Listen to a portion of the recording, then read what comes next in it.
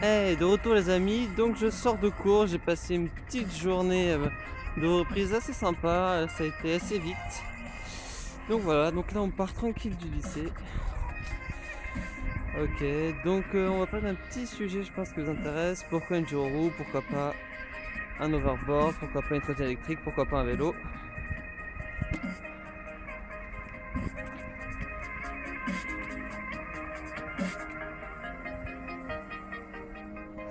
Donc voilà, donc pourquoi j'ai fait ce choix?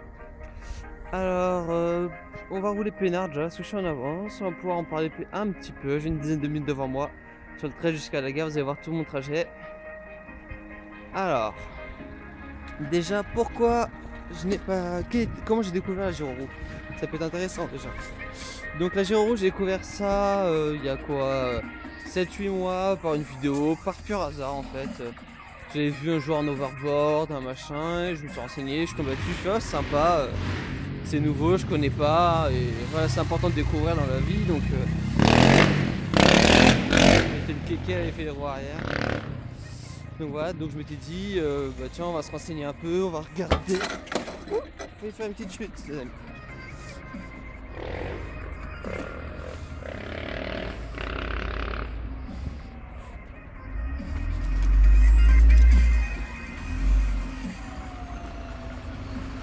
Ah, ça a été un peu compliqué, c'est un endroit où on peut difficilement passer. Donc ça va, j'ai failli tomber, mais tout va bien. Donc j'ai découvert ça il y a, a 7-8 mois. Je m'étais demandé un peu euh, combien ça coûtait. J'ai que des overboards, pour 400, euh, 500 euros. Et je m'étais dit tiens pourquoi pas, je voulais acheter ça au départ. Euh, donc comme là je m'en sers pour faire des, mes trajets habituels, seulement je me suis aperçu vite que les trottoirs, euh, ça gênait un peu, que c'était un peu large, c'était encombrant la journée comment le porter, il n'y a pas de poignée. Donc certains modèles avaient des sacs euh, exprès, on mettait overboard dans le sac, je me tiens pourquoi pas, ou il y a d'autres modèles où il y avait euh, où j'ai vu récemment qu'il y avait une espèce de poignée qu'on pouvait accrocher quand était sur l'overboard pour le porter. Mais c'était pas très pratique, c'était un peu du bricolage.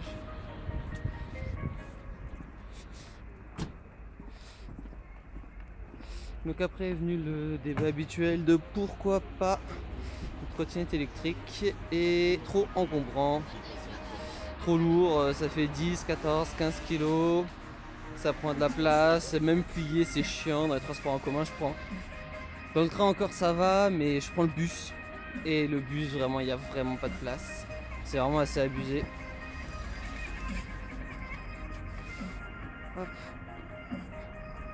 On va sur la piste cyclable. Donc voilà, donc dans le bus, il n'y a vraiment pas de place et c'était vraiment pas pratique.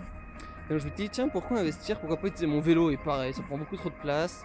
Dans le train, ça va. Dans le bus, c'est impossible. Donc il fallait qu'on me dépose, que je les récupère à Rambouillet. Excusez-moi. Et donc c'était un peu compliqué de le stocker. Il fallait payer un emplacement. Comme il y a des fois dans les gares avec la carte Navigo, on peut stocker, il faut payer. Il faut être de la ville, etc. Donc c'est un peu compliqué. Moi je m'étais dit non, finalement c'est pas pratique. Surtout que au, là où je suis en cours en fait euh, bah, le vélo reste dehors et je voulais pas qu'on me vole, qu'on me pique une lampe, qu'on me démonte la selle ou ce, genre de choses parce que j'ai un bon vélo. Parce que voilà je suis à la campagne donc euh, je roule pas mal en vélo. Donc voilà, donc je m'étais dit tiens il faudra un truc assez pratique, euh, qui a une bonne autonomie. Et donc l'overboard était une bonne idée, seulement les trottoirs c'était impossible c'était trop encombrant. J'avais pensé trottinette électrique, mais beaucoup trop encombrant et trop lourd et pas pratique. Et euh, ensuite, j'avais pensé à donc euh, à vélo électrique, pareil, pour pas l'accrocher, c'était chiant.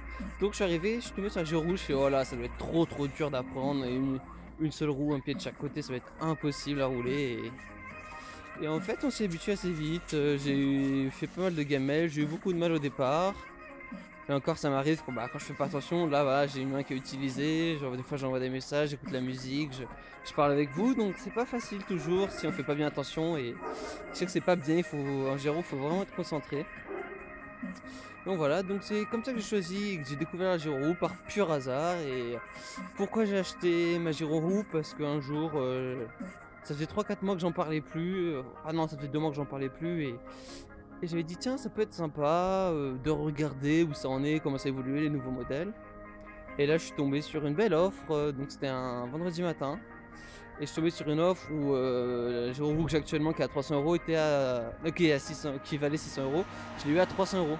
Et là, je me suis dit, eh ben, écoute, je ne peux pas, je peux pas ne pas acheter quoi.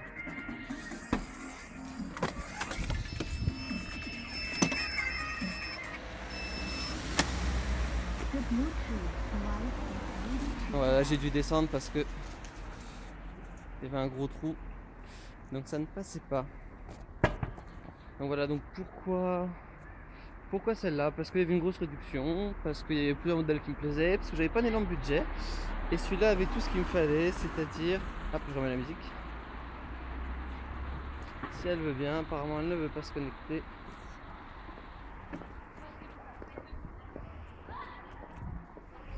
Donc pourquoi ce modèle là Parce qu'il y avait l'enceinte du tout, parce qu'elle était en réduction. Et euh, donc du coup je me suis dit c'est super, euh, une superbe occasion d'avoir quelque chose qui vaut assez cher à pas trop cher et je me suis dit bon allez on y va. L'après-midi même je l'ai commandé. J'ai mis un peu de temps à le recevoir et quand je l'ai reçu je me suis dit maintenant il va falloir apprendre. Ce modèle m'intéressait beaucoup, feu avant, feu arrière. Euh, surtout les petites roulettes, euh, donc des roues de roller qu'on peut clipper à gauche à droite sous les, sous les pédales, qui était très utile pour au départ apprendre à gérer la roue quoi. Et ça c'était une super aide et même si je veux le faire tester à des potes, il me faut juste un petit tournevis et je la mets, les en une minute ou deux maxi. Donc là je m'étais dit pourquoi pas pourquoi pas ce modèle et effectivement l'enceinte Bluetooth me plaisait énormément parce que bon là c'est vrai qu'en ville je dérange peut-être un peu mais quand je suis en zone industrielle bah, c'est vraiment agréable et je veux pas porter un casque des écouteurs de risque de pas entendre un klaxon ou une voiture qui passe. Donc j'ai c'était un bon compromis la musique sans être dérangée.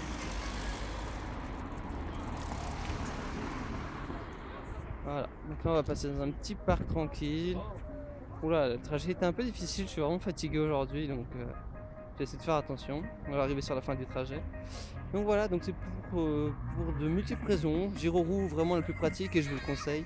Après overboard, être sympa pour se balader pour avec les potes, mais il faut pas de grosses montées, il faut pas de, faut pas énormément de boss, faut pas des dodanes, faut pas des routes défoncées.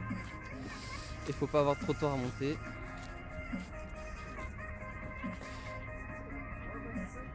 Alors que là, il y a une belle montée, je les monte sans problème.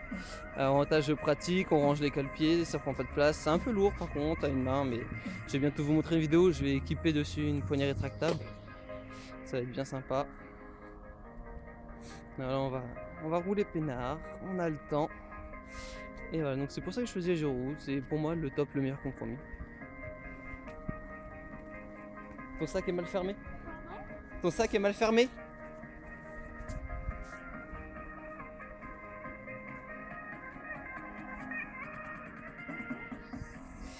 Et voilà. Elle a eu peur la pauvre. Allez, ses écouteurs, j'avais pas eu. On va bientôt arriver. J'ai bientôt baissé le son et tout pour pas déranger, vous inquiétez pas.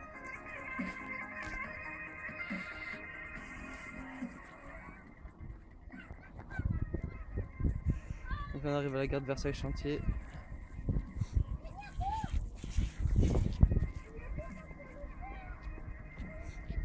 On va rouler peinard largement à l'heure pour mon bus. On va leur gravier pourri là. Alors ça les amis faites attention. Euh, on voit pas trop si la route elle est s'il y a des trous, s'il y a des machins, c'est super dangereux. À faire que là je reporte la roue. Ici ça passe pas. Ah, bon, je peux juste la pousser avec le pied, petite astuce, Et voilà, et là ils sont pareil en travaux encore, encore. Versailles Chantier s'appelle pas Versailles Chantier pour rien, il y a vraiment des travaux tout le temps, tout le temps, tout le temps. Là, il faut aller jusqu'au bout.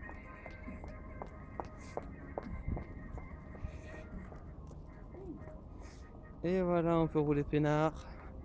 Donc voilà, la vidéo se termine ici. C'était bien sympa le retour, j'espère que ça vous a plu. Pourquoi le Giro Je ferai une présentation un peu à quoi ressemble et tout ça, comment la pumper. Et voilà, je vous tiens au courant.